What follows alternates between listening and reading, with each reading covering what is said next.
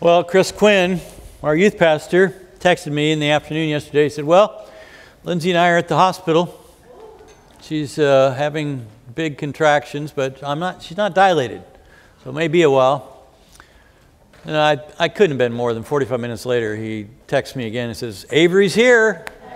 so I tell you, that was pretty quick deal. So, uh, teenagers, we don't have uh, youth right now. You guys are going to stay in here, and there's nothing tonight as well. So Chris will be at the hospital. Uh, Thom Rainer tells us that uh, nine out of ten churches in the United States are flat or declining. And, uh, or they're not keeping up with the population growth of their community.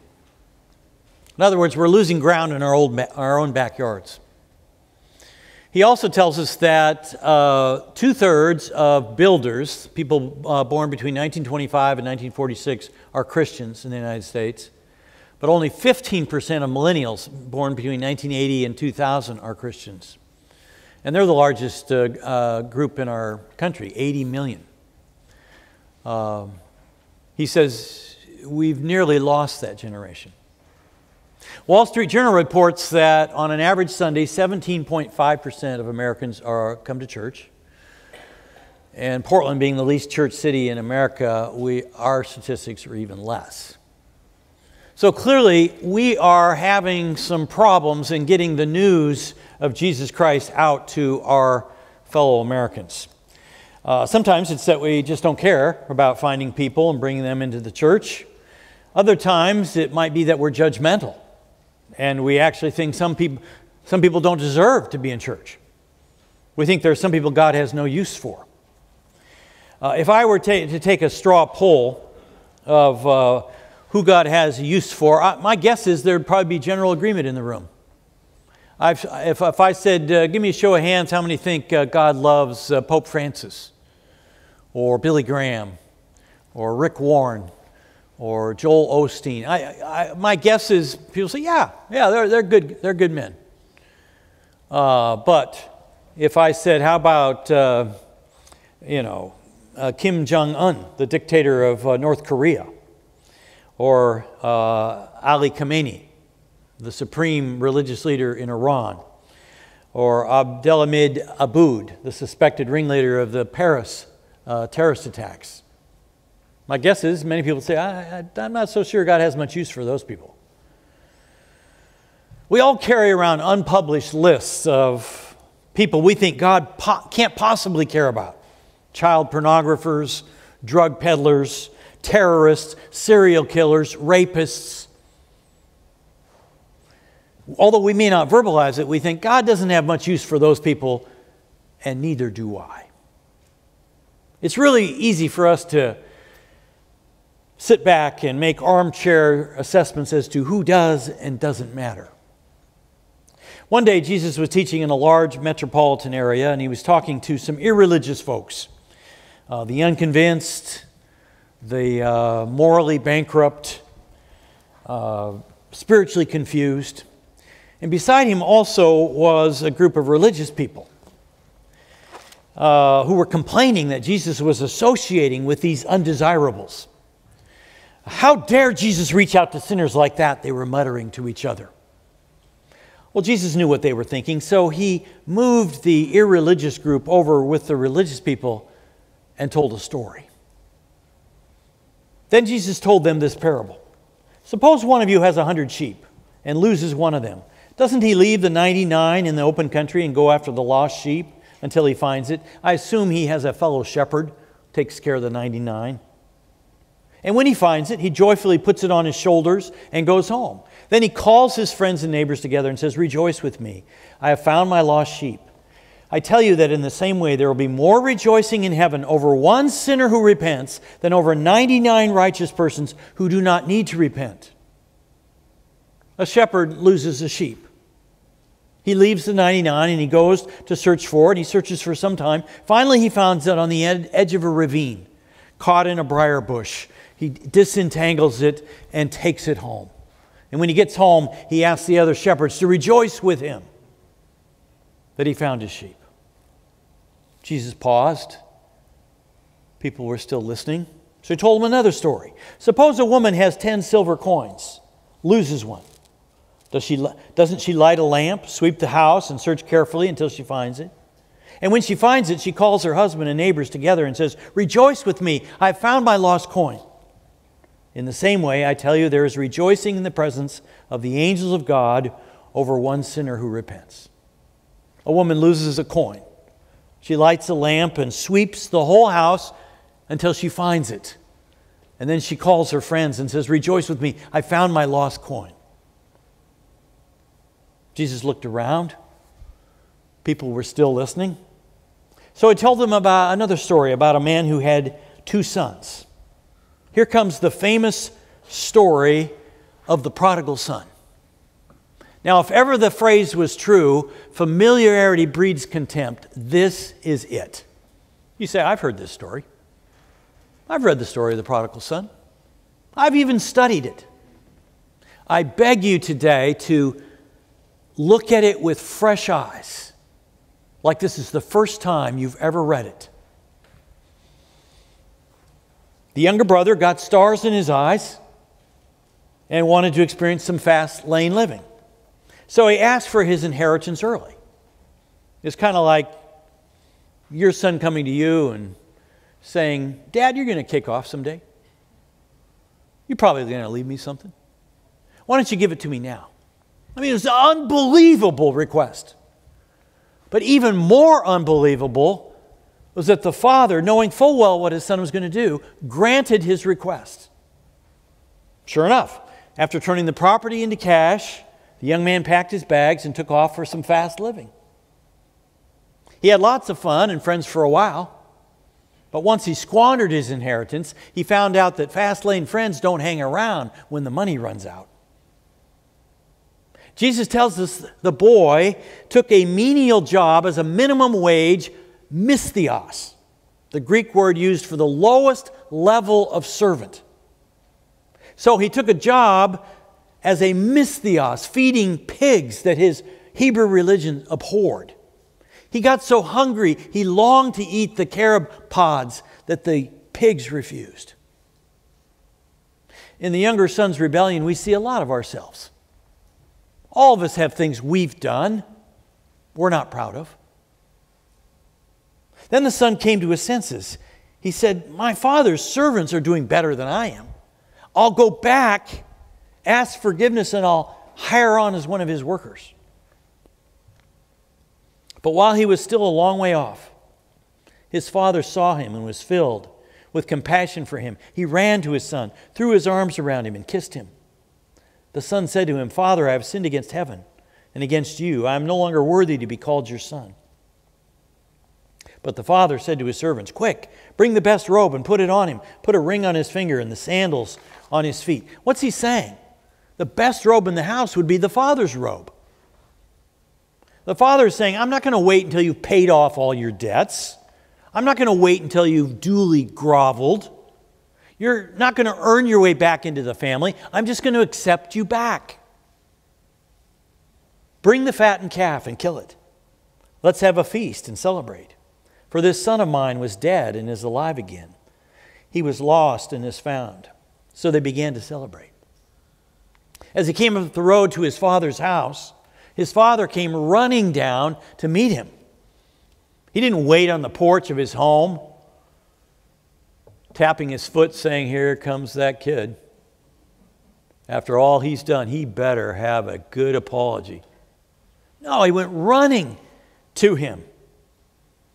It was considered undignified for an older man to run. But this father couldn't run fast enough. His legs wouldn't move quickly enough to express his heart of forgiveness and grace for his son. The son said, Father, I don't deserve to be your son. Father interrupted him, Shh, don't talk like that. Jesus shows us the Father pouncing on the Son with love and forgiveness before he has a chance to clean up his life and evidence that he's had a heart change, before he's even able to get out his a repentant speech, which he's practiced.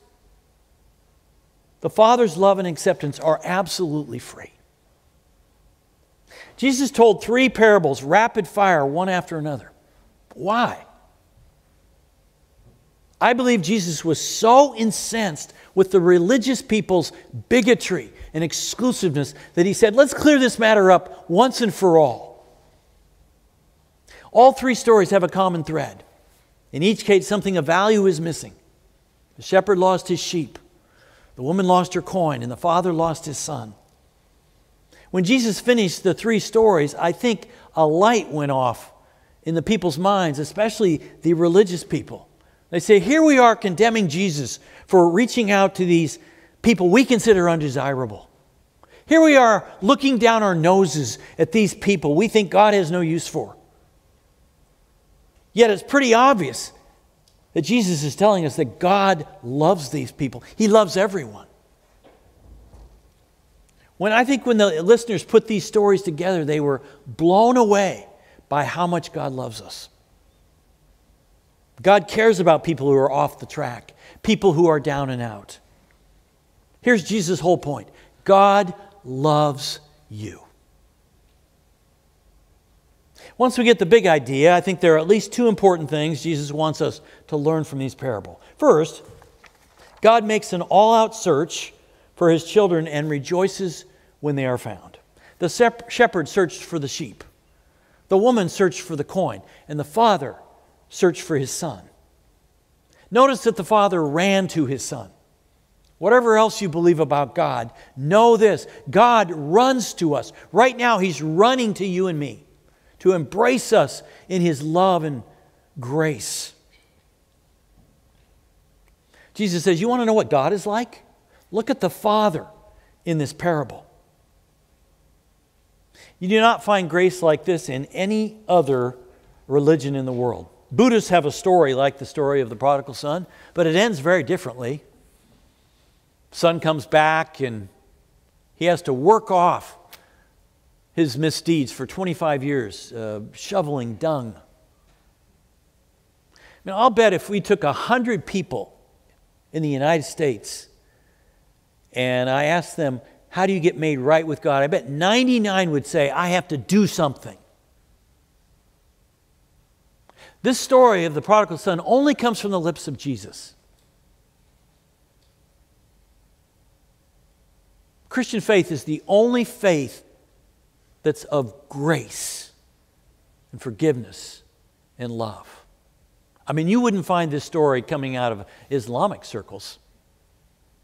There's a high level of shame uh, if a son went off and, you know, did this kind of living. If he came back, believe me, he'd be on his hands and knees in front of Allah. And he'd have to do some serious penance if they let him live at all. But Jesus tells us that God loves you. He's gracious. He's waiting for you to welcome you back. You don't find that kind of grace and reconciliation with God in Islam. In Islam, to be accepted into God, you have to keep the five pillars. Uh, recite that there's no other God but Allah. Uh, pray five times a day. Give 2.5% of your assets to the mosque or Islamic charity, uh, keep the fast of Ramadan, and make the pilgrimage to Mecca. If you do those five things, you're going to make it into heaven? You're not for sure. Because when you meet Allah, they're going to weigh your good deeds and your bad deeds. And if your good deeds exceed your bad deeds, even then you're not sure you're going to get into heaven because Allah decides. He may not honor the scales.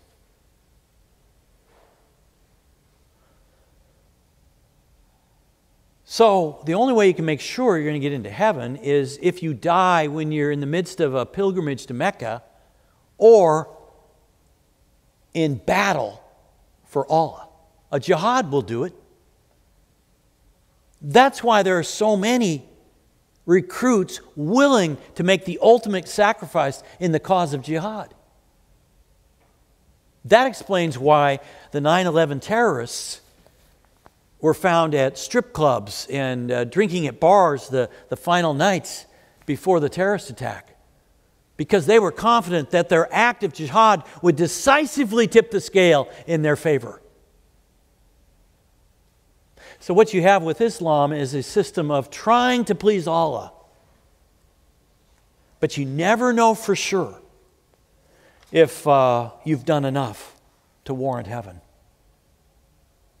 If you're not in the habit of attending church, this text says you matter immensely to God. You may identify with the prodigal son and feel like you don't matter to God. You may feel like you don't matter to a lot of people, your parents, your teachers, employers, or anybody, but it's not true. You matter to God. Our God is filled with compassion, no matter who's dug what kind of hole in their life. He loves you. Everybody is somebody to God.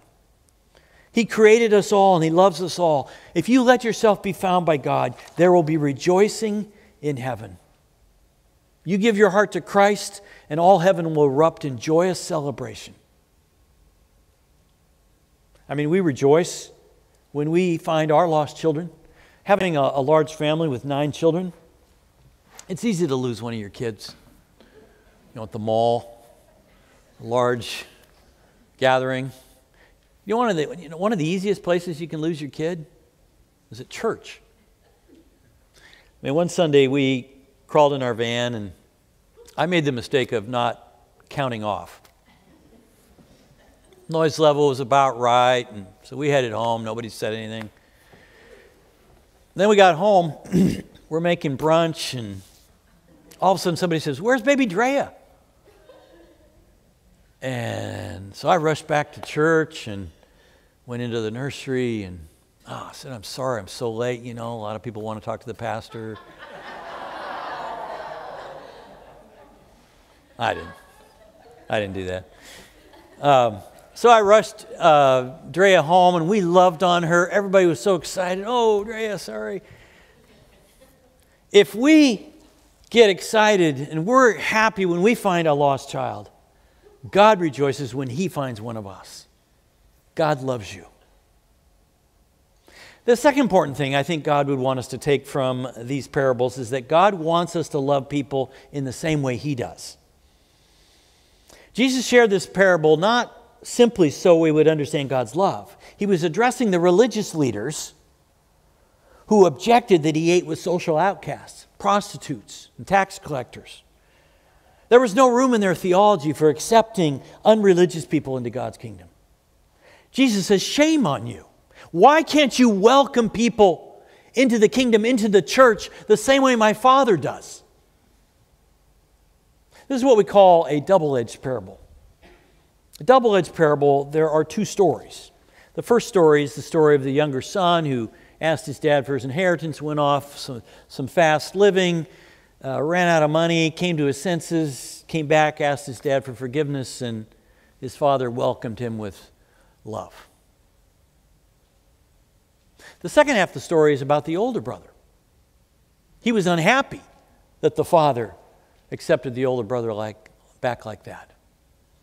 And in a double edged parable, the emphasis is always on the second part of the parable. Usually, when you hear, hear this story, the emphasis is on the prodigal son.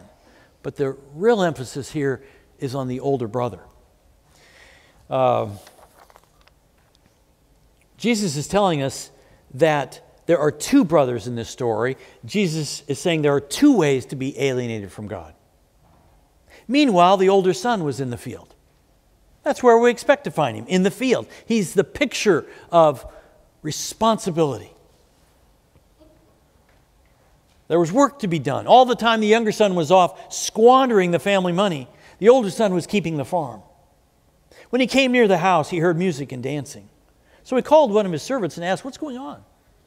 Your brother has come, he replied, and your father has killed the fattened calf because he has him back, safe and sound. The older brother became angry and refused to go in. He was angry about all this fanfare over a worthless brother. Anybody with children understands the uh, tendency for sibling rivalry. Uh, when our second son was born, David, we soon realized that Tad, our oldest son, kind of resented this new brother that was taking attention that he used to get all to himself. So we'd find him dropping toys on David in his bassinet. you know, putting his blanket over his head or his pillow over his. He wanted to get him out of the picture. So we can understand uh, sibling rivalry, uh, but to refuse to greet his brother and celebrate his return is taking things too far. So his father went out and pleaded with him. But he answered his father, Look, all these years I've been slaving for you and never disobeyed your orders. Yet you never gave me even a young goat so I could celebrate with my friends. But when this son of yours, who has squandered your property with prostitutes, comes home, you kill the fattened calf for him. He says, You've never given me even a goat for a party. How dare you give him the calf? He's adding things up. I've worked myself to death and earned everything I got. But my brother has done nothing to earn anything, and yet you throw him a party. Where's the justice in that? The other brother talks all about, the older brother talks about all that he's done. I've never disobeyed you, so I have rights. He's saying, I deserve to be consulted about this. You have no right to make decisions without me.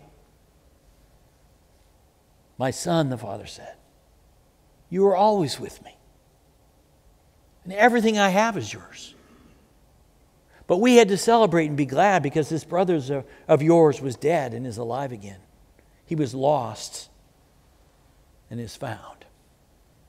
Jesus points this parable at religious people, older brother types, who begrudged him extending God's kingdom to sinful people whom they would not think, with whom they would not think to associate. I've seen Christ followers get so cut off from non believers, they feel no responsibility to, to build a relationship with them and invite them to church. And they actually get annoyed with people outside the kingdom. Jesus asks us the same question today Why can't you forgive people and welcome them into your church the same way my Father does? Can you imagine what might have happened if the prodigal, the younger son, met the, his older brother on the way home, he would have never made it home. It's a sad thing that in many churches, the prodigal son comes home, comes into the church. The only one there is the older son. How many people never make it back to the Father's love because of older brothers in the church? If being with the Father means having to contend with the indignant attitudes of condemning older brothers in the church, many people would say, I'll just stay away. Sadly, rather than being places of love and welcome, churches can become centers of judgment. How easy it is to make rash judgments like the religious folks to whom Jesus directed these parables that God doesn't really care about certain types of people. We think they don't matter much to God. But the truth is, they do. This text tells us you've never looked into the eyes of another human being that God does not love dearly. Jesus shows us in this parable that there are two ways to be alienated from God. The younger son wanted his father's money but didn't want the father. The older brother didn't love the father either. He was upset how the father was using the assets of the estate. He too wanted the money, but not the father. The younger son was alienated from the father by being very, very bad. The older son was alienated from the father by being very, very good. Jesus wants us to see that the older brother was also alienated from the father. He was angry and wouldn't go into the party. He felt he had the right to tell the father how the robes, rings, and livestock of the family should be deployed. In the same way, if we live good lives, we think as a result that God owes us. The first sign that you have an elder brother spirit is that when your life doesn't go as you want, you aren't just sorrowful, you are angry and bitter. You believe that if you live a good life, you should get a good life and that God owes you a smooth road if you try hard to live up to His standards. If this is your thinking, you'll be furious with God when things don't go the way you think they should. You don't deserve this, you think. After how hard you've worked to be a decent person. If you're a regular churchgoer, these parables tell you that you are to love people like God does. In these parables and all through his life, Jesus displays a prodigious obsession with people. As God's child, you and I are to be the visible expression of God's non judgmental forgiveness and acceptance to hurting people. If you're not in the habit of attending church, this text tells you that God loves you immensely. You may feel God can't possibly care about you, but it's not true. No matter what you've done, God loves you. I believe the look I believe that the two sons are a look in the mirror for all of us. All of us here are like the younger son, the prodigal son in some ways. All of us would be embarrassed to death if things were flashed on the screen that we've done that we're embarrassed of. All of us also have some of the older brother in us. We can be quite judgmental, can't we? Who are we to stand in the way of God reaching out to his children? What gives us the right to not forgive people that God has forgiven? God says, I do not slight you when I forgive people and bring them into the church. Everything that is mine is yours to enjoy. You should rejoice when people are found. Jesus leads us to the abiding principle. We are to forgive people the same way God graciously forgives people. Jesus calls us to be like our Father in heaven. There are people all around us who need forgiveness. Many of them will not set foot in the church because they feel guilty and feel they'll be judged. We must share with them that God forgives them and that we welcome them with open arms as well. Isn't it the whole point in life to take as many of our family members, our friends, our neighbors, our classmates, our coworkers with us to heaven? Isn't that what life's all about? So, how can we find people who may be far from God and bring them into the church? Let me suggest six quick things. One, identify people. Who are the people in your life who probably do not know Christ, and you may be the only church going Christian they know. And God may want to use you to reach them. Two, pray. Pray for them. The whole deal is to be led by the Holy Spirit. The highest value in this whole thing is, is to stay attuned to the Holy Spirit's promptings. You say to God at the beginning of every day, God, I'm available to you. I'm available to love people, stop and talk to people. Where, where do you have somebody you want me to hear their story or tell my story? And then you watch God open doors. Three, develop relationships with people. Surveys show that the longer you attend church, the less non believers you have relationships with. That makes sense. You come to church and you start going to Bible studies and community groups, and you know, you, you spend more time with Christians.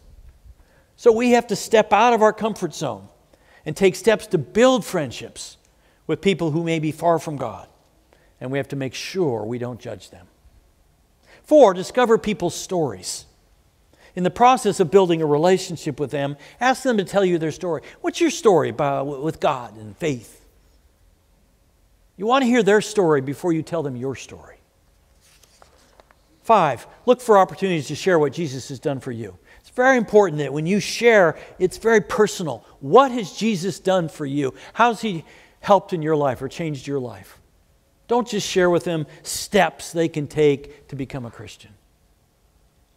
Then finally, invite them. Invite them to give their life to Jesus. Invite them to come to church with you or to come to some other event at church with you. Our board this year thought that was a reasonable goal for this entire church. Every one of us bring one person this year. Let's pray. Lord Jesus, thank you for teaching this parable and being our teacher today. We see so clearly that you and God the Father love people immensely, everybody. And you want us to love people the same way, everybody. And so we want to commit ourselves to doing that. I want to give you all an opportunity just to respond to Jesus and what you've heard today. For some of you, maybe you feel like the prodigal son, like you need a whole lot of forgiveness. You could ask for that forgiveness right now. Say, Jesus, I want you to come into my life and be my Lord. I want to follow you the rest of my days. If that sounds like you, just whisper something like that to him right now. Others of you, maybe the thing that hits you is that you're like the older brother, the religious people, maybe judgmental, and you say, Boy, I want to tamp that down, and I want to be open minded to all people, and uh, I want to be thinking about who I can reach out to and share Christ with and share my story with. Maybe you make that commitment. I'll give you about a minute just to pray silently.